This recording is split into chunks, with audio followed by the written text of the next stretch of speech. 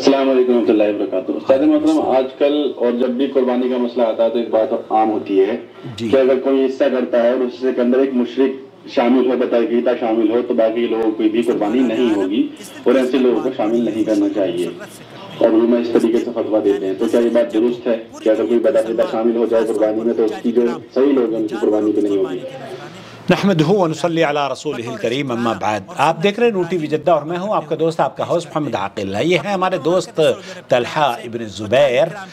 ہمارے ساتھ جدہ میں رہتے تھے اور جدہ کی سعودی عرب کی زمین بڑی گرم ہوتی جا رہی ہے۔ خارجی اپنے ملکوں کو رخصت ہو رہے ہیں۔ ہمیں بھی جانا ہے۔ انا للہ و انا الیہ راجعون تو اس لیے بھائی طلحہ کے لیے ہم دعا کرتے ہیں کہ اللہ رب العالمین جہاں بھی رکھے ان کو مبارک اور کامیابی عطا فرمائے۔ آمین یا رب العالمین۔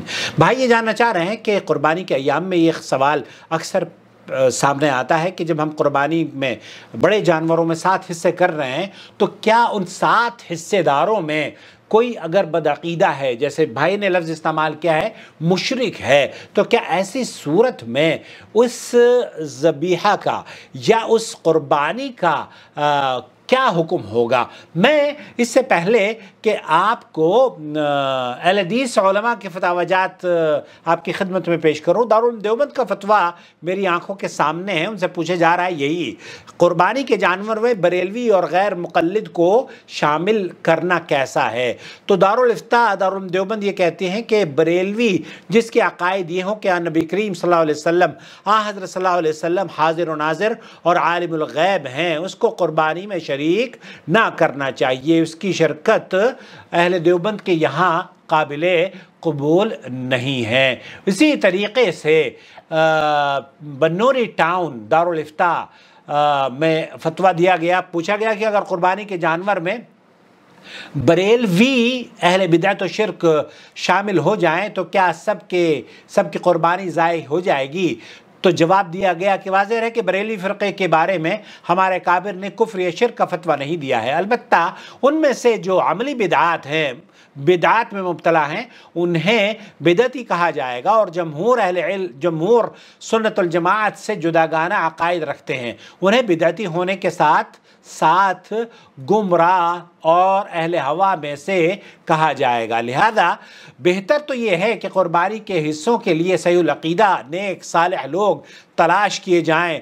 تاہم اگر بریلوی کے ساتھ قربانی میں شرکت کرنی پڑ گئی تو قربانی ہو جائے گی اگر ہاں ہاں اگر کسی کے بارے میں یقینی طور پر معلوم ہے کہ وہ بلا تعویل شرکی عقیدہ رکھتا ہے یا جانور ذبح کرتے وقت غیر اللہ کا نام لیتا ہے تو اس شخص کے ساتھ قربانی میں شرکت جائز نہیں ہے۔ یہ فتح دارالعلوم دیوبند امداد المفتین یہ یہ دارالعلوم دیوبند کا فتویٰ ہے۔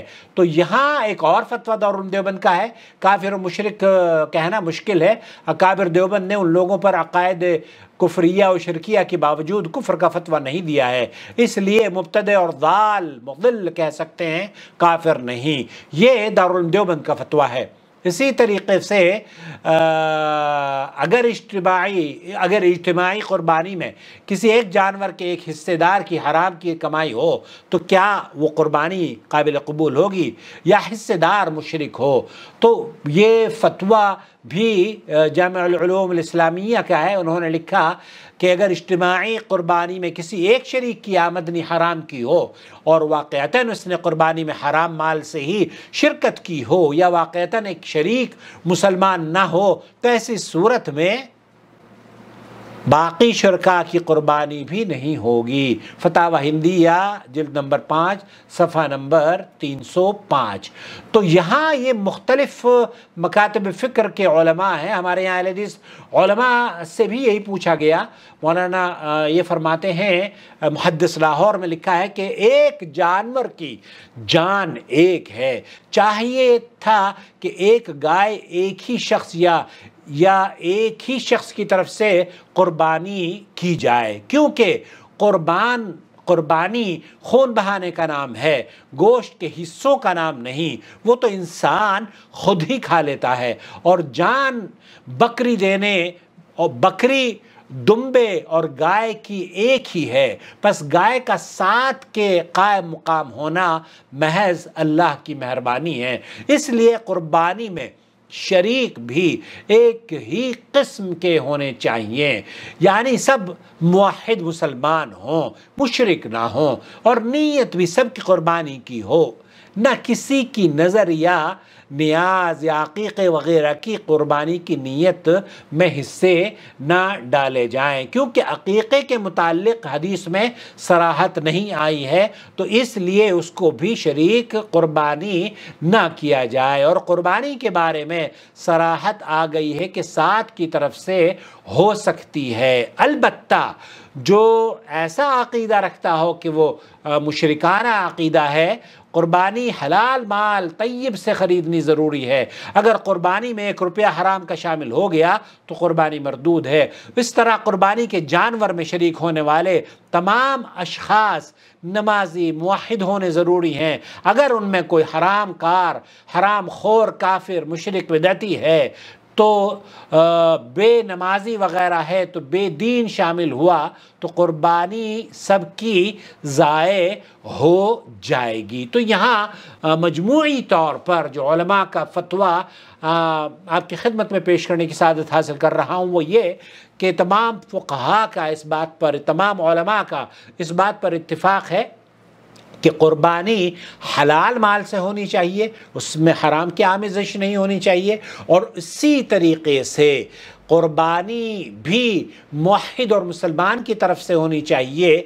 وہ کسی طریقے کی اگر بدعقیدگی میں ملوث ہے، تو اس کی تو شیخ ابن باز رحمۃ اللہ علیہ سے پوچھا گیا کہ ایسے شخص کے ساتھ ہم کیا نمازیں نمازیں اس کے پیچھے پڑھ سکتے ہیں جو کہ تعویز گنڈا لیتا دیتا ہو اور نظر و نیاز غیر اللہ کی کرتا ہو؟ شیخ نے فرمایا، نہیں، یہ جائز نہیں ہے، یہ حرام ہے، یہ تو یہ تو وہ کبائر ہیں جن سے ان کو توبہ کرنی چاہیے۔ تو جب نمازیں نہیں ہو سکتی، ایک بدعقیدہ شخص کے پیچھے، تو پھر قربانی کے بابرے میں بھی جب فرائض نہیں ہو سکتے تو قربانی کے بارے میں بھی بالکل یہاں جو مختلف علماء کرام کا موقف ہے، میں نے شیخ توصف الرحمن راشدی سے پوچھا تو انہوں نے بھی یہی کہا کہ نہیں، اس میں شرط یہ ہے کہ سارے کے سارے موحد اہل توحید ہوں اور ان کا عقیدہ بھی قرآن و سنت کے مطابق ہو۔ تو خلاصہ کلام یہ ہوا کہ اگر مسلمانوں کو توفیق ملے تو وہ ایک ہی جانور کی طرف قربانی کریں۔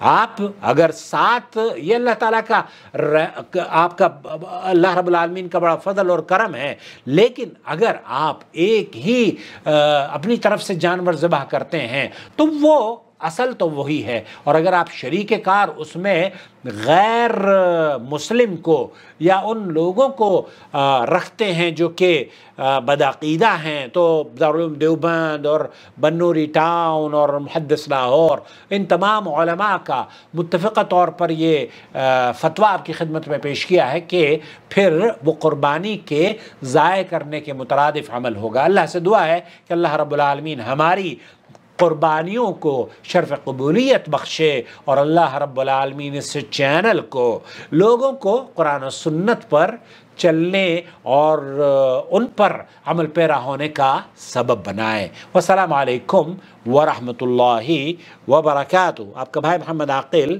جدہ سے مملکت سعودی عرب۔